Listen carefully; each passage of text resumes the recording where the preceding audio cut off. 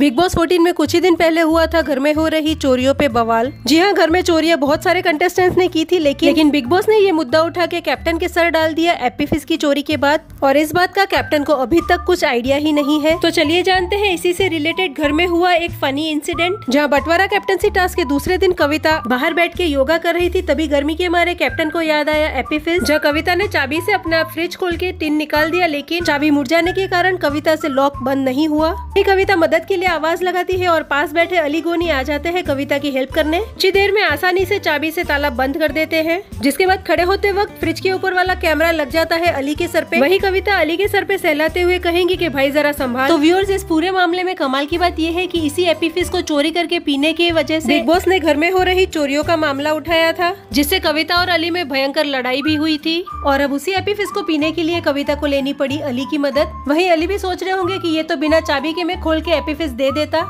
वही gym area में पड़े वेट को उठा के कविता चाबी ठीक करने का प्रयत्न करती है, जहाँ वेट चाबी की जगह कविता की उंगली पे लग जाता है। वही कविता की आवाज़ सुन अली भी कविता से पूछेंगे कि आपको ज़्यादा लगी तो नहीं? तो व्यूअर्स इसी एपीफिस के फ्रिज की चाबी ने बदल दिया है कल के झगड़े को आज की दोस्ती में। तो कविता और अली दुश्मनी छोड़ के दोस्ती का हाथ बढ़ा चुके हैं, यही देखने मिलेगा हमें दो दिन चले कैप्टनसी टास्क में भी। तो व्यूअर्स कैसा लगा एक दूसरे को चोट लगते देख अली और कविता का एक दूसरे की तरफ़ ये जेस्टर